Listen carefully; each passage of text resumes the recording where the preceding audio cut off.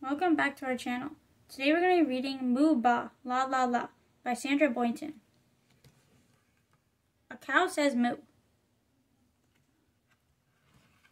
A sheep says ba. Three singing pigs say la la la.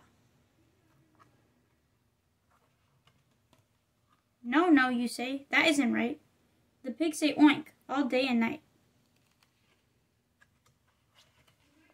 Rhinoceroses snort and snuff, and little dogs go ruff, ruff, ruff. Some other dogs go bow, wow, wow, and cats and kittens say meow. Quack, says the duck. A horse says neigh. It's quiet now. What do you say?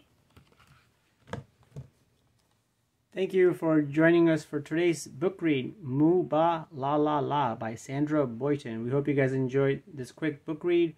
Consider subscribing if you're new to this channel. Share this with your friends and family if they have kids that may enjoy these types of books. Stay tuned for more book reads. Take care, guys, and keep on reading. Goodbye. Bye.